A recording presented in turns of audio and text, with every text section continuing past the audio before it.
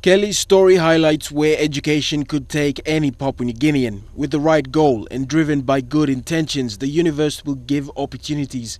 Kelly started in UPNG and the path now takes him to Australia. I recently completed my bachelor's in economics at the University of Papua New Guinea in 2016 and I will be pursuing my master's in international and development economics at the Australian National University in 2018. So this was a scholarship that was awarded to me it's part of the partnership that UPNG has with ANU. Kelly Samof says he wants to contribute to the monetary policies of the country at the central bank or Treasury Department when he finishes school. He is aware of the current state of the economy but remains optimistic. Every country in the world that is now developed was once a developing country. And for Papua New Guinea, this is different because we're in an age where a lot of countries are already developed and so we're sort of catching up with everyone.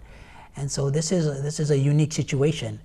And so what I'd like to do is, to, so from the research that I'll be doing and the papers that I'll be working on, is that get as much information as I can, learn as much as I can from other countries about what they, what, I, what about what they've done, and then bring that back to a PNG context and see how we can sort of tailor make our policies so that they address issues, real issues that real Papua New Guineans are facing. Bethany Harriman, National EMTV News.